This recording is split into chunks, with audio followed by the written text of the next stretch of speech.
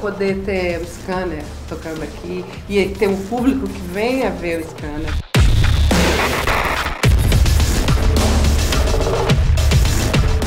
I'm a person who doesn't like to repeat themselves. So I make projects that are always challenging myself. So I think they always reach a new audience.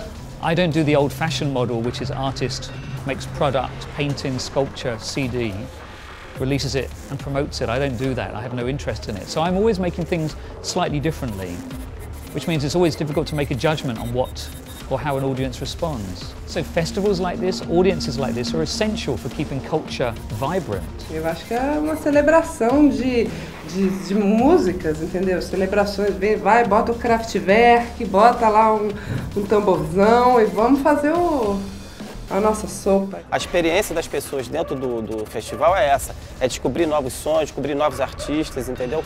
Novas tecnologias, assim, equipamentos, então isso foi interessante. As pessoas foram é, inseridas dentro desse mundo da tecnologia com a arte.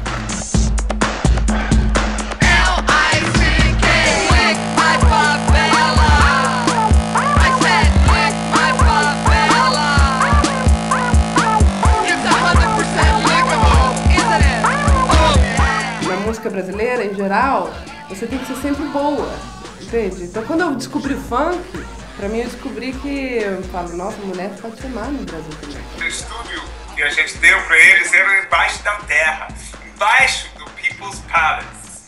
E foi um semente plantado lá em 2000, 2001, há muitos anos. E claro que uh, Tetini deu super certo Londres. Eu fiquei muito feliz de saber que Tetini agora pertence a ninguém, elas não fazem parte nem do território de São Paulo, do Rio, de Londres, elas fazem parte desse território digital entre todos nós, entre as linguagens.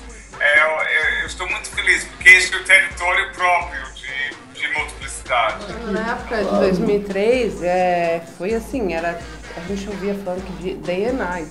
Então era tipo que saía, como a gente é muito autobiográfico, como a gente fala muito da gente, a gente tudo que saía era funk, era, é. era, era semi funk à latetine, né? É, tanto a gente fez um disco em 2004 que foi é, concomitante com essa compilação, o, o Slam Dunk Presents Funk Carioca, que era o nosso, a nossa versão da coisa. Ao mesmo tempo que a gente lançou esse disco, que era um disco DDJ, um mixtape, a gente lançou um outro disco chamado Bonde do Tetão, que era, que era o que a gente chamava na época de versão. queer funk, e na verdade não, não é funk, é uma terceira, era uma terceira coisa, mas cheia de influências é, do funk.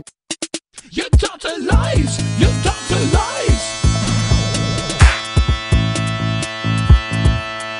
Every country seems to have its own voice in some sense. You know, it's always interesting to see how much of history comes back from a country into contemporary culture in a way, and there are resurgences in a sense. I think what I, what I pick up from Brazil is, you know, there's, a, there's an inescapable history of real music, of folk music, of rock music that still feeds back into what we experience today. So I think what's exciting is that we never know what's going to be coming.